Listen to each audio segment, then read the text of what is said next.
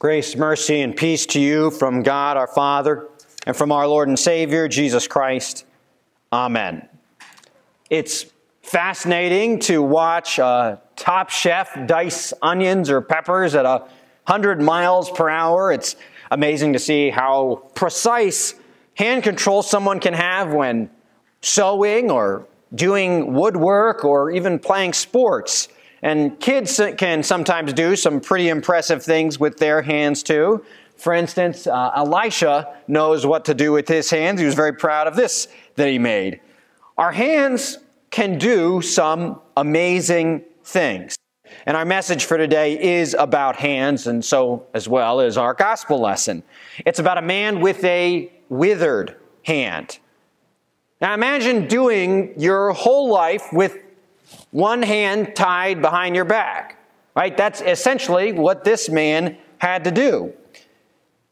How could you, for today, drive or use a phone or eat or show affection for another human being? It would be enough for us to do that today, even with all our technological advances, but think back to living in an agricultural based society. I mean, there's no way with one hand you could take care of land. You couldn't even like dig with a shovel. And there were practically no jobs available to a man who had only one hand. Even if there was a job you technically could do, well, you can rest assured that a guy with two hands could do it much better and much faster than he could. And how about his life, love life for that matter? I mean, what woman looking out, especially in that day, for the good of her own life and her future children would squander her life on a man with no prospects who could not provide very well for them. It's possible, we don't really know the backstory of this man, that maybe he had developed this later in life. Um, and but if he had, his name might have been Peter Peter Pumpkin Eater, because if he had a wife, he couldn't keep her. The guy certainly couldn't even support himself, much less a family. Uh, those of you who have been laid up with an injury or sickness or perhaps quarantine can perhaps begin to appreciate this man's burden. He felt the pinch probably of hospital fees and of lost job income. He had hardly any purpose at all. Again, I think most of us felt a little bit of that kind of during even during when we had to do shutdown. And just imagine if he really truly couldn't do barely anything. I mean, he probably the only thing he practically could do was beg to get enough to get by from day to day, living from hand to mouth. Only he was doing it at a disadvantage with only one hand to get to his mouth.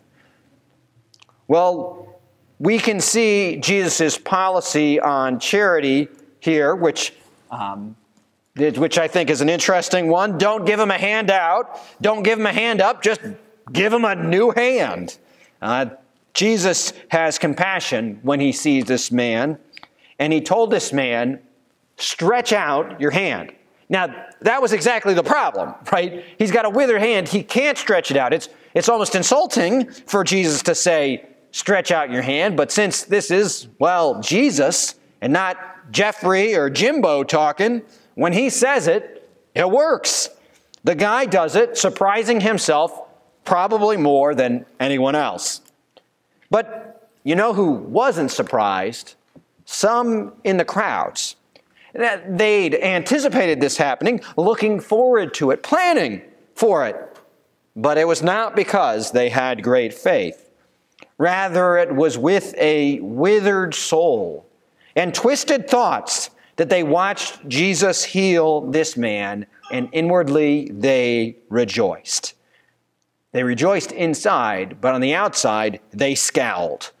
They rejoiced because now they could get Jesus in trouble. Oh, you worked on the Sabbath, you're going to be in trouble. Uh, Jesus is healing on the Sabbath. Now, in the actual Old Testament, it's not really illegal to heal on the Sabbath. God never said that. But in the zealous and uh, zealous nature of the Pharisees, they, described, they had developed a tradition of the elders a tradition that the Pharisees were now subscribing to in the most part. And in that definition, healing or a doctor doing work was verboten on Sabbath day.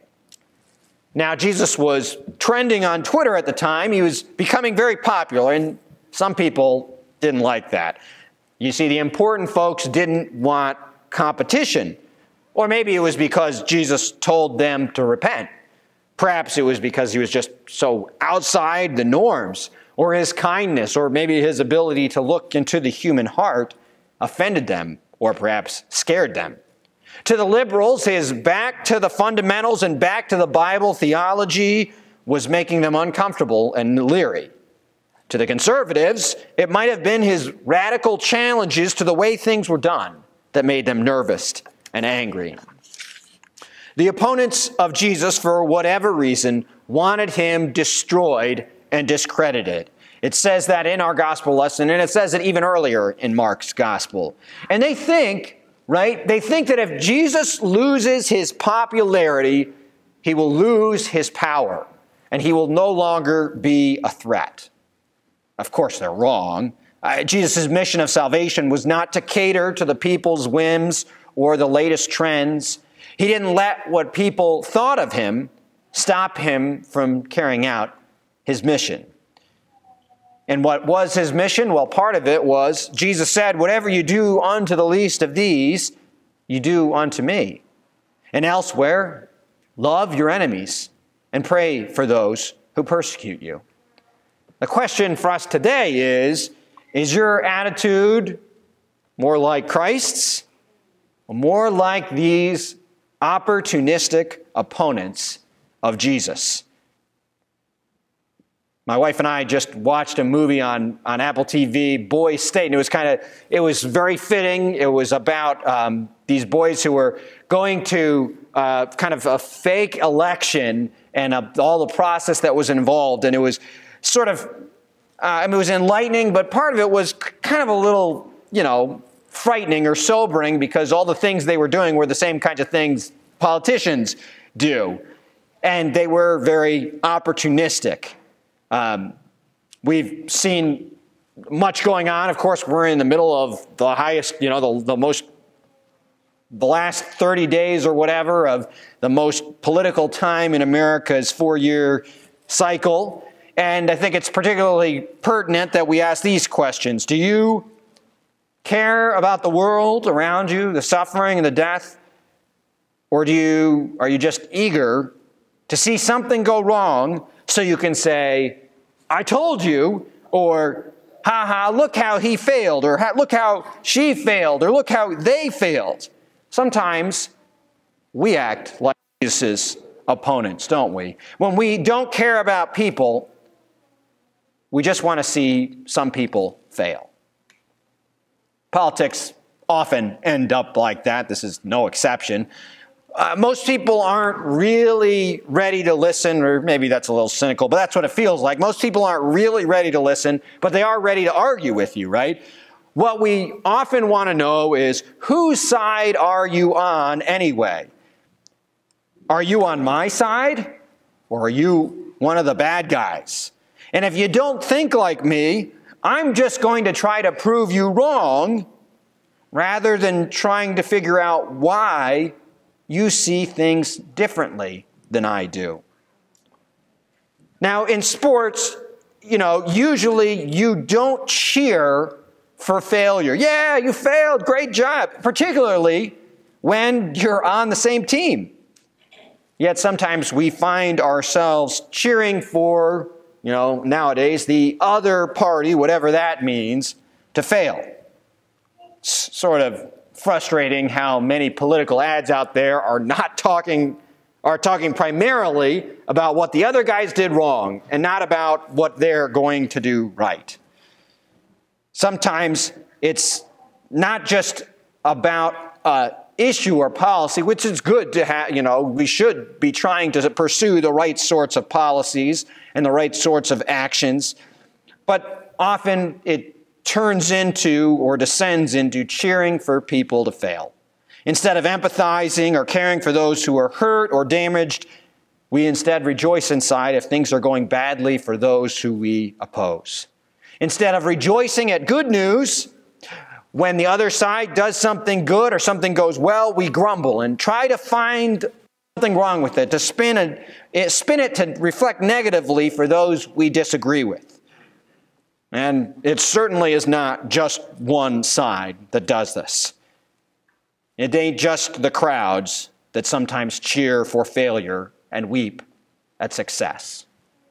Sometimes we do the same with individuals too, don't we? Those at work or those who we disagree with, and we secretly rejoice when something goes wrong for them. Serves them right. They, they got what they had coming, right? Again, we are often, our hearts, if not our words, our actions, are often hurtful and not helpful. We all need to be healed of our withered souls so that our hands can be more like our Savior's and heal instead of hurt. We need less pointing of fingers and talking behind our hands and more hands that are looking to help. Working together, as they say, make many hands make light work. So, how do we use our hands? Well, take Jesus' advice, that's exactly what said to this man, and stretch out your hand. You see, we don't have to keep our hands all to ourselves, shriveled up so that the only people we help are those closest to us, or in worst case scenario, only ourselves. Jesus tells us to stretch out your hand. But I can't, you say. I, have got to take care of me and my own. If I don't fight tooth and nail, I'll lose. If I don't hold on to my possessions and with a tight fist, why, I'll lose all that I've got. To which Jesus might reply, For whoever would save their life will lose it, but whoever loses his life for my sake and for the gospel will find it. You won't know what you'll, that what you'll lose is far less than what you'll gain until you stretch out your hand and let go of your stuff. Let go of your plans. You see, you can't receive God's good plans for you until you drop whatever it is that you're holding on to. Then and only then will you begin to receive from your Heavenly Father all that you need. And you will find yourself uh, more blessed than you could have ever hoped. So, our focus this week is to let's stretch out our hands, not just to some or not just to those we like, but to all that we can manage to. Now, you may not be able to, particularly not without the help of Jesus, but since Jesus tells us to, just as Jesus told this man to do the impossible, and he did, we find that if we pay attention to Jesus, we'll, do, we'll end up doing what we thought was impossible. Helping in ways perhaps that we didn't think we were capable of or qualified for. Talking to people that we once cheered against. Perhaps showing some skin to those with a different skin tone than are ours. May our hands reflect the compassion of the nail marked hands of our Savior. And that's the challenge for this week is to use your hands for healing and for helping. That could mean a variety of things as it t- talk, typically does, but as the old saying goes, Talk is cheap, right? We hear a lot of talk these days. But today, this week, instead of talking about what the world should be like, go do it. Maybe that means uh, building something for someone else. Maybe it means comforting a family member. Maybe it means stepping out and, and reaching out in a way that you've been thinking about or too nervous or unsure about. Maybe the Lord has put something good and wholesome or healing on, on your heart, and it's just time to take a step in that direction. Talk is cheap, so step out and get hands on in this world. And with Jesus' help, we will make the world at least a little better place. Because we too have been sent as the hands and feet of Jesus. So, heal and restore. That's what a Christian's hands are for. In Jesus' name, amen.